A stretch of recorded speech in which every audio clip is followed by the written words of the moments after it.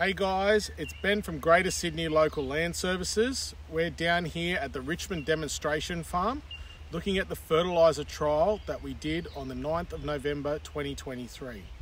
Today, a week later, the 17th of November 2023, and we're having a look at any changes from what we have completed. In the past week, we have received just over 10 mil of rain Daytime temperatures have been around 30 degrees and minimum of 15 degrees. Here we are in our NPK blended fertilizer strip. This strip is outperforming all other mixes. As you can see by the inside the quadrant, the amount of biomass compared to others. The ryegrass, which is quite tall now, is excelling quite well. The kikuyu underneath is beginning to grow with these warmer temperatures, but also you can assess the amount of biomass in, compar- in comparison to the other strips. Here we are in the chicken manure pelletized fertilizer strip. This strip was spread at 600 kilos per hectare.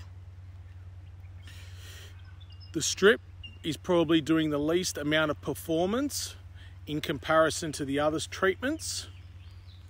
As you can see by inside the quadrant, the ryegrass is still growing more than the kikuyu.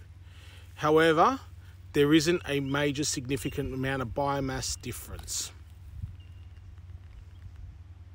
Here we are in our urea strip. This urea was spread at 200 kilos per hectare we do not recommend going at this rate as it was too high. What this has resulted is in some of the plants burning earlier in the week and maybe causing nutrient runoff. However, as you can see by inside our quadrant, those ryegrasses that have been able to handle the high nutrient load have grown really well. The kikuyu beneath is starting to grow. However, we will see what the impact of the too high of nitrogen application will do in future. Here we are in the untreated kikuyu. There is less ryegrass in this strip. However, this may be due to previous grazing experiences. The kikuyu is similar growth to the chicken manure.